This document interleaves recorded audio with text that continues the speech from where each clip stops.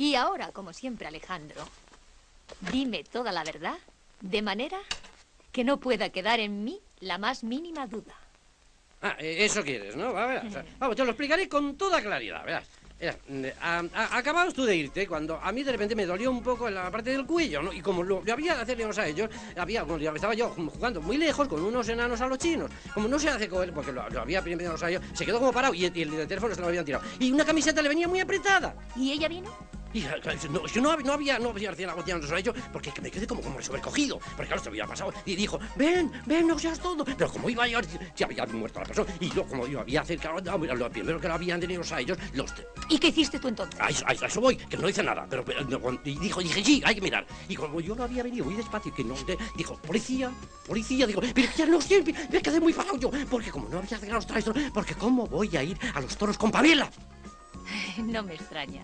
Eres tan atractivo. Claro, claro. Y no contentos con eso, porque lo había. Se acercó a esto y dijo que traigan los torreznos. Pero como no le había hablado antes, y otro abrió la puerta y se encontró con la cabeza de ella. Y Dios mío, y ahí el disgusto. Ahí vi lo comercial porque eso lo había hecho a ellos.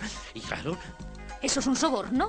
y eso es lo que le, le había dicho a él. Pero co- como no lo había. Porque había. di- di- Dijo de repente, "Ay, está- están por ahí, que, que vengan, que vengan. Y como no habían venido todos, se guardó al más pequeño, pero no lo había devuelto antes. Porque se lo había traído el. y, y- y por eso Reagan dejó de fu- fumar en noviembre. ¡Qué canallas! Claro.